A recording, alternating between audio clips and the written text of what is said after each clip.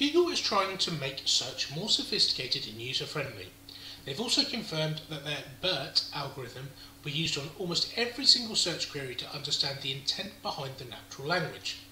Of the three main tools they've announced to bridge between online and offline world are using Duplex to update local business information using busyness data for physical locations and AR information about local businesses.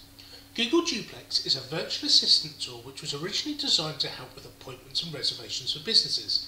This tool now reaches out to businesses using Google My Business to encourage them to fully update their profiles. Google have said that the tool has been essential in over 3 million business updates on the platform. Google has been indicating popular times on local profiles for businesses to help users know when the best time to visit is.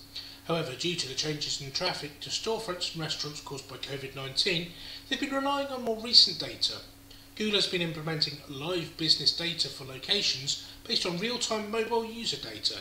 However, some businesses have noticed inaccuracies in this information.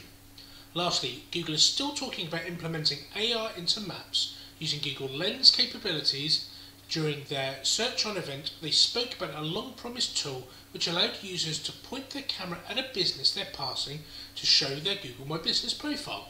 This is a tool which has been long in the works and has been tried by its competitors. It'll be interesting to see how these new features benefit local businesses and whether or not Google will finally get their location AR services fully off the ground. Don't forget to get these updates straight to your inbox, subscribe using the link in the description.